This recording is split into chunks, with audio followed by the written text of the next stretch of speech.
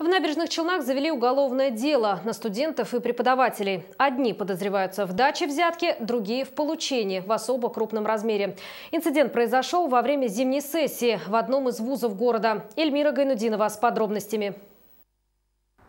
Получить отлично, ничего не выучив. Пожалуй, это мечта любого студента. По версии следствия, в середине января текущего года не менее 13 студентов-заочников экономического факультета собрали по 15 тысяч рублей. Эти деньги предназначались для успешной сдачи экзамена. Кстати, некоторые учащиеся приезжие. Они приехали из Нижнекамска, Мензелинска, Менделеевска и других городов Татарстана. В общей сложности старосту группы передала двум преподавателям Набережно-Челнинского института КФУ около 200 тысяч рублей. Сотрудники вуза задержаны и допрошены. Свои вины они не отрицают и активно сотрудничают со следствием. Есть информация о том, что данный характер получения взяток в, в таком размере и за такие действия носит систематический характер.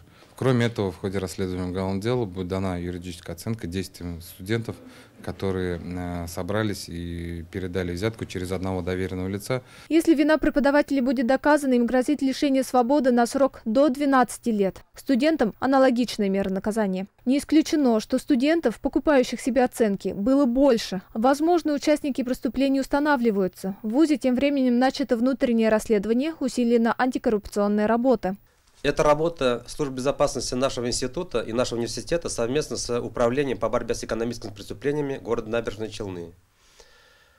В нашем институте имеется план работы по борьбе с коррупцией в нашем институте. Согласно этому плану, после каждой сессии мы проводим анонимное анкетирование наших студентов. Расследование уголовного дела продолжается. Завтра, 7 марта, в городском суде изберут меру пресечения преподавателям, подозреваемым в получении взятки. Эльмира Гайнудинова, Андрей Буслаков, Ильнар Мустафин, Челны 24.